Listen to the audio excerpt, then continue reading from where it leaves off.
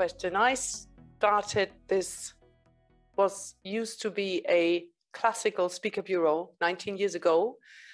Um, when I was still employee and started to think about uh, becoming an, like a, a businesswoman myself, I met one of the best brain trainers, memory trainers in Europe. His name is Gregor Staub. And through Gregor, I learned that there is such a thing as a speaking uh, world and that speaking is a business. And then I started managing Gregor Staub, who is fantastic. And for the first maybe five years of my like speaker bureau career, I was most of the time organizing his um, tournée. He is working for schools and universities and companies and then I got to know the German Speakers Association through him because he was one of the founders and um, start to get to know people that some of you know, like uh, Michael Rossié and uh, many colleagues from the German Speakers Association, Thorsten Jekel, um, and all the others. And um, because Gregor said, work with Karin, she's a good organizer, my agency rose. And um, it's called Team Karin Burger because when I can say some one thing Without being a team and in a crowd of wonderful people, I wouldn't be where I am today. So that's how it started. As a single mom with two children, um, growing slowly, have had the first employee, then the second, and now we have four. So yeah, it just grew. I didn't, I didn't plan, it just grew. Well, I what can I say? It's all about listening to people that are more intelligent than I and that know more than I. I mean, I have an agency and I gather talents and brains and hearts. I, I gather people around me, and that's my agency um, that know more than I, who do better than I, and I never hesitate in, in asking people. I I always tell my children, I have two beautiful sons who are 10 and 17, um, not never hesitate to ask. And um, if I'm good at something, if you call me and say, Karin, I have this problem, I might not, I, I might not know the solution, but I'll know somebody who do, who does.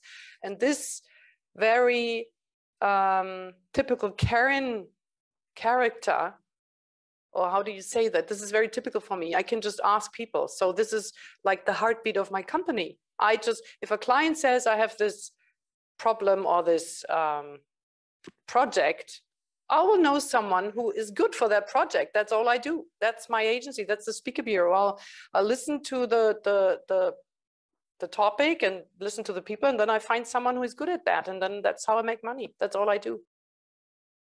I can tell my story. The virus came into my reality end of February. I was in London Heathrow. Um, I had visited my au pair family because I was young and I was an au pair many years ago. So I visited them and they had disinfection on their doorstep, like, you know. And I thought, what is that for? I didn't, I had heard about the virus, but I thought it was a flu, as everyone did, end of February, you remember. And then a, a friend of mine called me and she was working for a huge insurance company and said, Karin, just telling you, we just got an email that all events are cancelled until the end of the year. That was in February. People don't know, but now you know. So you run and invent yourself because your company is not going to exist if you don't. There will be no presence. And why did she know? Because, of course, insurances work with um, politicians and stuff. So they knew before we knew. So that was when I actually called Thorsten Jekel, and I can only cite him a million times because I called him and said, Thorsten, this is what I just learned. She was a, a common friend of and client of ours. And what are we going to do if everyone cancels now? Because it was up. I knew this is, was going to come. I thought, what, we have 150 events coming up this year. What is going to happen if they all cancel?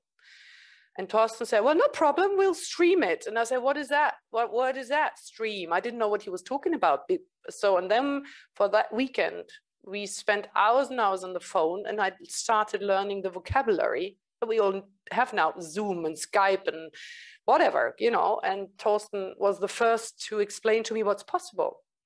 And then I wrote my first email to my 3,000 clients on the 5th of March and said, we called it the event, a Corona event task force.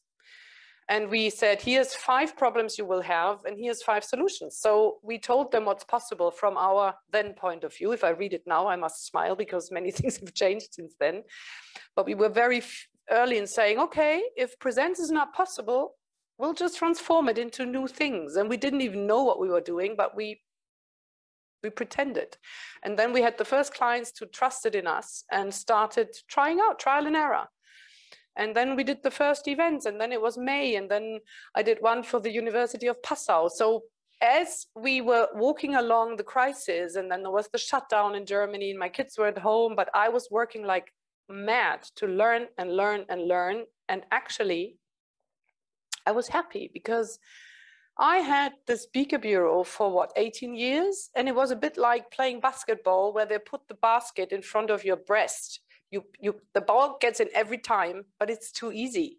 You know, you're not, you don't thrive anymore because it's too easy. I was, I liked what I did, but it wasn't, there was no thrill anymore. And the virus was the catapult and it just threw me in a new world and I loved it. And we were working night and day. And ever since I did not have a clean weekend, none. And when I come at home at night still and it's 8.30, my children go, oh, mommy's here. That's good. That's early because I work and work and work. But why? Because I love it. And I find now, and you see in my back here, the online event expo, we did a huge online expo that started last week and it will last for a whole year. Everyone can enter, there's no registration necessary. And you can walk through 42 virtual stands and learn about the speakers. There's more than 40 speakers represented and it's growing. So um, I can actually, as an agency, say the classical speaker business has shrunk by 90%. But the virtual speaking business is slowly growing because all of you will start learning which skills you need to use, what you have to learn. And the ones who are broad, broadly like, who can also or already juggle all these new talents you need. And I mean, we hear a crowd of people who know what I'm talking about. I don't have to list them.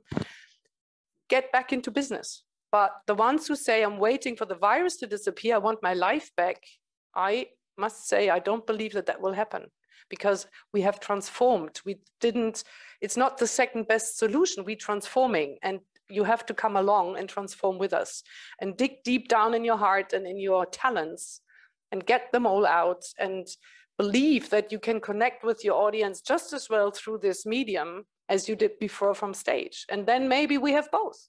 And then in two or three years, the ones who have learned that can um, can make clients happy in the whole range of possibilities. And that's what I will be um, pushing. You have to perform the same and I mean, looking at the two of us, you see here, you have a real background, I guess. That's not virtual, right? It's your wall and your books. Now I chose this virtual and with the bad bit that you have a little, like when I move my, move my hand, I don't have the most uh, expensive camera here. So it has bits that aren't perfect, but I want to give a message out. This is my new work and I believe in virtual formats. I can change this and I, uh, I might do it later to a real background. So it's not all about technique. And if you listen to people like Thorsten Jekel, who is brilliant in this top technical stuff, he is actually taking back technical stuff and using more real stuff again. And um, we have colleagues like Bert Helwig, who is brilliant, who has transformed immensely the last few days and weeks through our expo because he had to learn a lot. He's actually having a real background and he uses paper and pens. Uh, he does not play with too much too too much technical stuff because that's another thing we can learn now how much do we want to use? Um, less is very often more. So the ones who hate technique don't hesitate. You have to have a good camera. You have to learn the the basic rules but you don't have to become a, a, a technician. It's still your performance and that's what i want to get out. The performance you're good at will still be important but you have to add other things to it. And if you don't you have to find a new job. That won't be the future. That's what I believe. Right. And once um, another thing, my agency, I work with brilliant, brilliant people. Um, my speakers, which I call a fine selection of speakers and artists, um, will never give the same speech twice, full stop, ever. I would not work with someone who does that.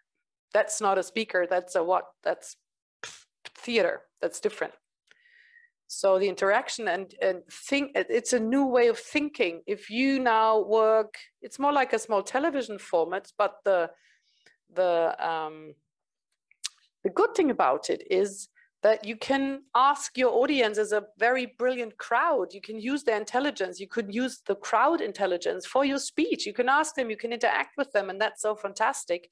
And it's uh, even easier because if you're in a big hall and you have 200 people and you ask them to raise their hands, um, you know the game. It's boring and uh, it won't give you the truth because if my boss watches me, I will not raise my hand, even though I would like to. But if you ask me online or you even in the hall, you you know you have a big location in 2023 where here 500 people, and you ask them to get their phones out and tell you your opinion, you will because your boss doesn't see what you write and you get truth.